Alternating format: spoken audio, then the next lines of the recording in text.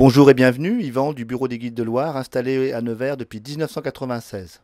Nous proposons des activités sur la Loire et l'Allier, donc tout ce qui est découverte du milieu naturel, de l'histoire et du patrimoine du fleuve.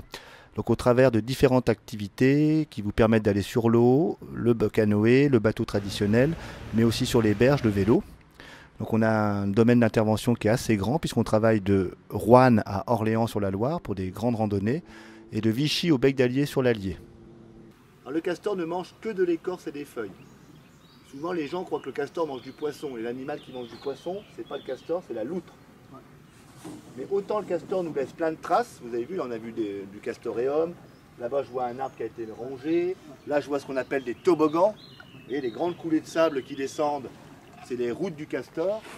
Après une activité sur la Loire, que ce soit en canoë, en bateau traditionnel ou en vélo, vous pouvez profiter de la ville de Nevers qui, est assez animée en été, avec notamment Nevers Plage, un air de Loire, qui propose tout un panel d'activités à destination des enfants, des spectacles, du cinéma en plein air et une petite buvette. Donc retrouver vraiment l'esprit des bords de Loire animés et de la vie au bord de l'eau.